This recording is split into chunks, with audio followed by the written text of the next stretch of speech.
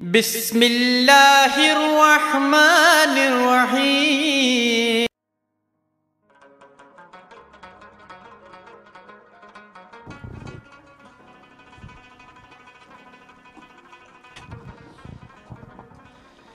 अस्सलाम वालेकुम वालेकुम सलाम आप खैरियत से हैं अल्लाह का शुक्र है जी आप सुनाए खैरियत है जी अलहमदिल्ला हम पीटीआई साउथ वेस्ट के प्लेटफॉर्म से एक नया पाकिस्तान प्रोजेक्ट का हमने शुरू किया है। उसके हवाले से हम आपका शॉर्ट इंटरव्यू करना चाहते हैं। कुछ क्वेश्चन है अगर आप उनके आंसर दें। जी जी जी। अच्छा पहला सवाल ये है कि नया पाकिस्तान का नारा जो इमरान खान ने दिया है उसके बारे में आपकी क्या राय है कि वो क्या तस्वर नया पाकिस्तान? नया पाकिस्तान इंशाल्लाह आने वाला एक बेहतर पाकिस्तान होगा।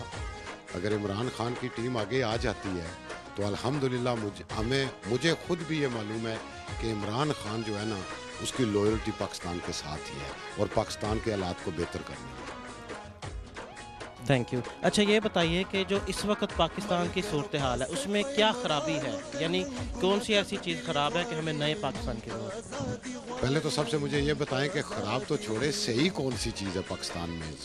सिस्टम ले लें कानून ले लें इमिग्रेशन ले लें हमारी अदालतें ले लें कुछ भी सही नहीं चल रहा है। ख़ासकर हम जो ओवरसीज़ पाकिस्तानी है, यहाँ आ जाते हैं, डरे, डर के मारे वहाँ इन्वेस्टमेंट यहाँ तक नहीं करते कि यहाँ हम इंग्लैंड में आ जाएँगे और वहाँ जो है पीछे स्टे ऑर्डर लगा हुआ है या किसी और ने कब्ज़ा किया होगा। वहाँ कचहरियों के चक्कर लगा लगा के हम वहाँ जाते हैं दो चार माह रह सकते हैं, लेकिन वहाँ कचहरियों के चक्कर काट काट कर हम बूढ़े हो जाते हैं, लेकिन फैसले नहीं होते। थैंक यू अच्छा ये बताइए, ये जो आपने वजूहत बताई हैं, ये जो प्रॉब्लम्स बताई हैं, इसकी क्या वजूहत हैं? ये ऐसा क्यों हो रहा है? ये ऐसा हो रहा है कि हमारे पास, देखिए, पहले तो कुरान का भी ये फैसला है कि जैसे अवाम ऐसे लीडर, हमको अवाम अवाम को जगाना है, अवाम को बताना है कि वो पुराने ख्याल छोड़ दें कि चौधरी, जट, भैंस राजपूत जो भी है, कि नहीं उसको वोट देना है, वो शाम को थाने से हमें छड़वा के ले आएगा।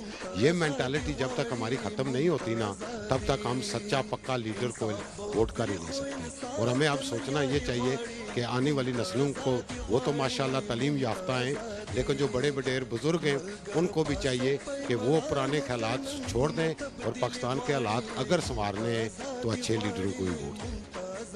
अच्छा ये बताइए कि ये जो आपने बातें की इसमें नए पाकिस्तान में कौन सी ऐसी चीज़ें हों कि आप समझें कि ये नया पाकिस्तान है?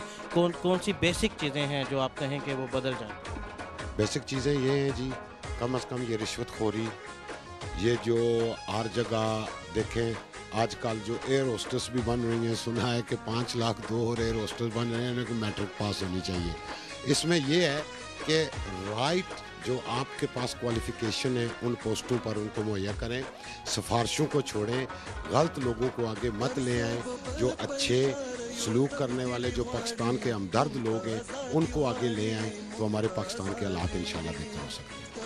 अच्छा ये बताइए कि अगर एक आम आदमी यानी अगर मैं चाहूँ पाकिस्तान में मैं अपने घर से महल्ले से अपने शहर से नया पाकिस्तान में कंट्रीब्यूट करना चाहता हूँ तो मुझे क्या करना चाहिए? इस वक्त तो मैं यही सोचता हूँ कि पीटीआई को आगे ले आए इस ब्रेथ ऑफ़ फ्रेश एयर उनको आगे ले आए अल्हम्दुलिल्लाह we have tried the rest now try the best इंशाल्लाह वो आपके आगे में बेहतर है थैंक यू वेरी मच